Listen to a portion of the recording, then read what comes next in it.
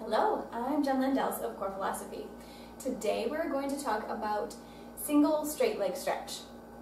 Whether you're a new teacher and here to review and dig a little bit deeper into the exercises or whether you're here to get um, more of an explanation on the exercises that you're doing for your own practice, I'm glad you're here.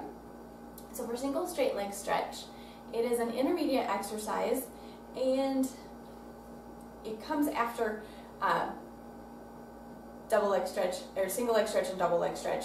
And then we've got single straight leg stretch, also known as scissors.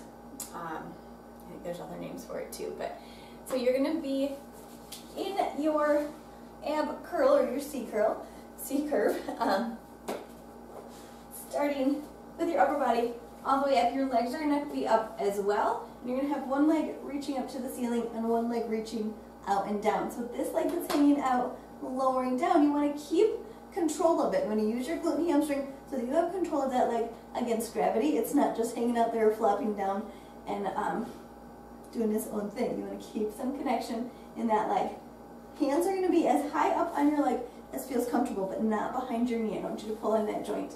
Collarbones are open, so you've got that arm and back connection.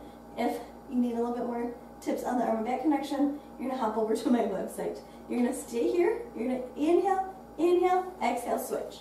Let's reach, reach, and switch. Reach, reach, and switch. To make this one harder, you're to bring your arms down by your sides, reaching through both legs.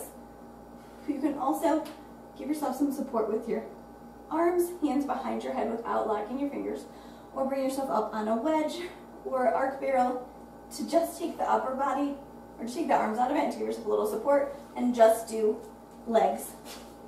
All right, so let me know if you have any questions. That's the only modifications is to either take your, to bring your upper body out of it and just do legs. If you have someone who's really tight in their hamstrings, you can bend both knees a little bit. Also to make it harder, you're just gonna bring your hands down by your sides.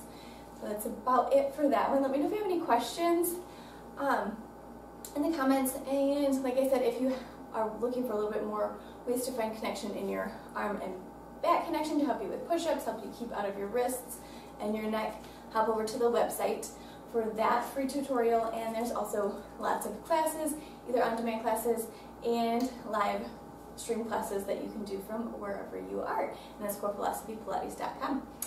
I will see you soon. Thanks. Bye-bye.